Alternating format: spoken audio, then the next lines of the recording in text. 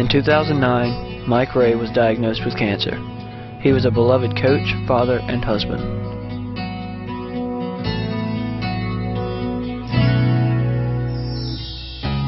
I met Mr. Mike in probably May of um, probably May of '88 in Fayette, Mississippi. Mike and I dated three. Let's see, May, June, July.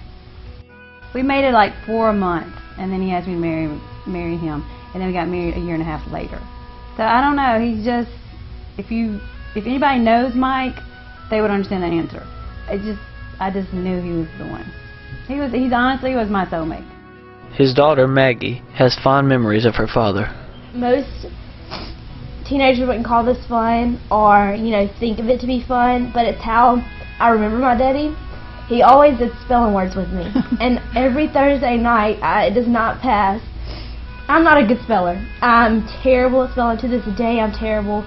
And that's just something that me and him did together. We were hunting, and I killed a nine point, and it was actually the last deer I had killed. It was a year before he got diagnosed, I want to say. So his back was bothering him. Well, I went and got my Uncle Al, and he came and helped us get the deer out. And it was in a huge hole, so there's no way me and him could have got it out ourselves. The Kubota couldn't pull it out. It was so steep of a hill. We all got behind it, and we were all pulling it up, and it was me, my Uncle Al, and my daddy. Well, my dad fell, and it was just kind of like a, a domino effect.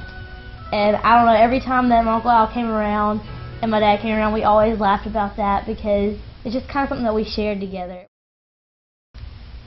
Whenever I answer this, you're going to think I'm crazy, but you have to understand that we live in Church Hill. In Church Hill, nothing bad happens to you. You're in your own little bubble. You're in your own little world that you know, nothing's gonna hurt you. I have heard, I had heard of cancer patients. I had heard that they, you know, okay, he's had like a little mole in his back, we'd get it off, all that kind of stuff. And so, whenever my dad first got diagnosed, I was 16, 15, something like that. Um,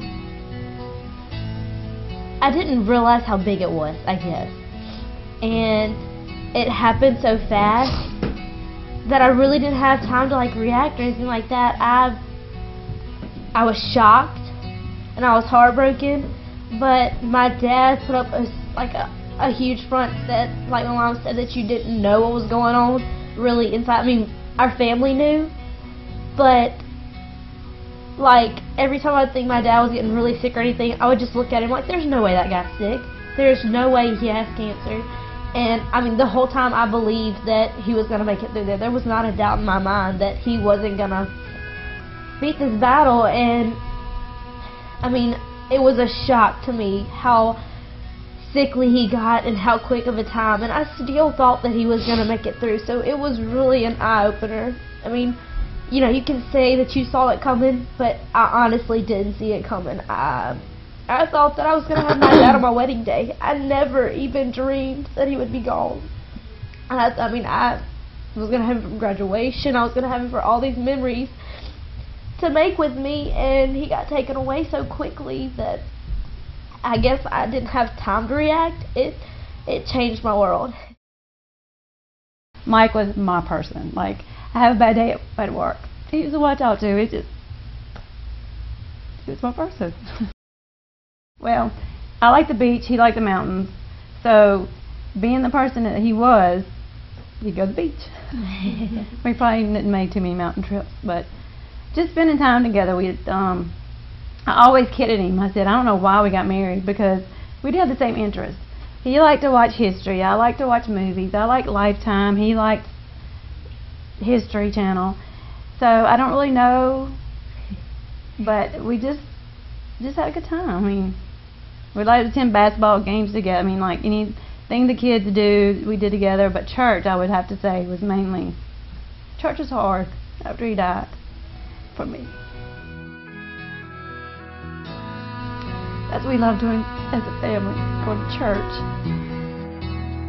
He was a very godly person. He nothing that was gonna change his mind. It was nothing was gonna keep him from showing God through him and I guess, that, I mean, that was advice to me that was I guess it was like kind of like an example set more than advice, I guess.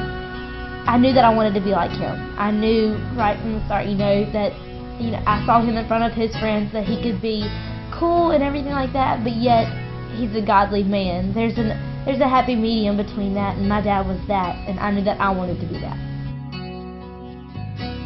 In 2011, Mike lost his battle with cancer. He was loving. He was very loving and understanding. I mean, you know how, well, he might not know yet, but like, and I don't know, but raising two teen- teenagers is not going to be easy, and he was always understanding of us. He always wanted to listen to us. I mean, I'm a girl.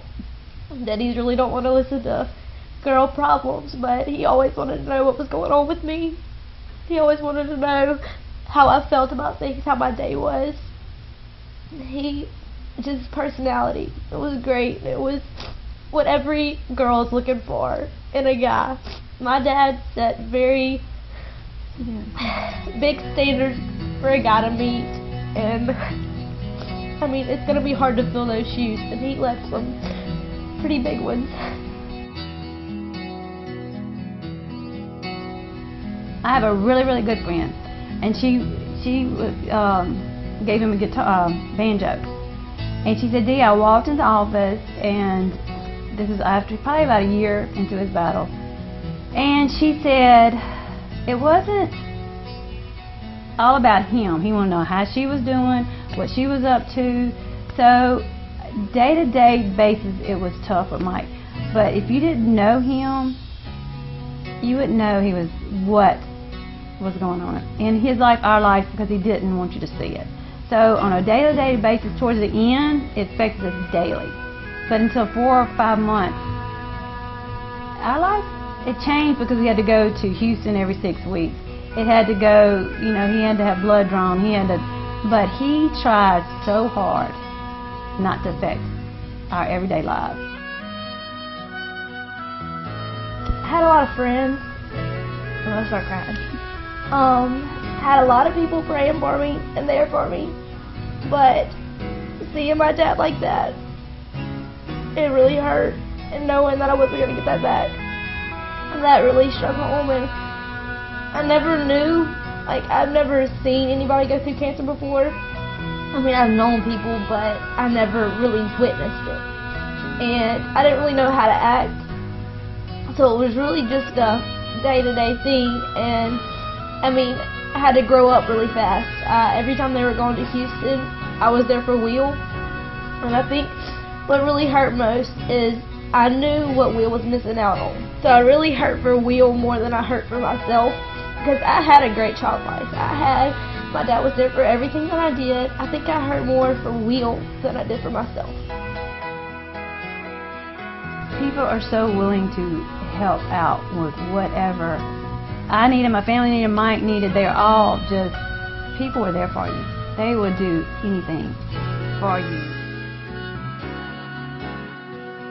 So I would just, you know, just want to thank him for being the person he was. That we didn't argue and we didn't fight, and we, you know, he had morals and you know, that we went to church together, that he helped me raise a, a godly family. You know, you just, I would just thank him and tell him how much I miss him.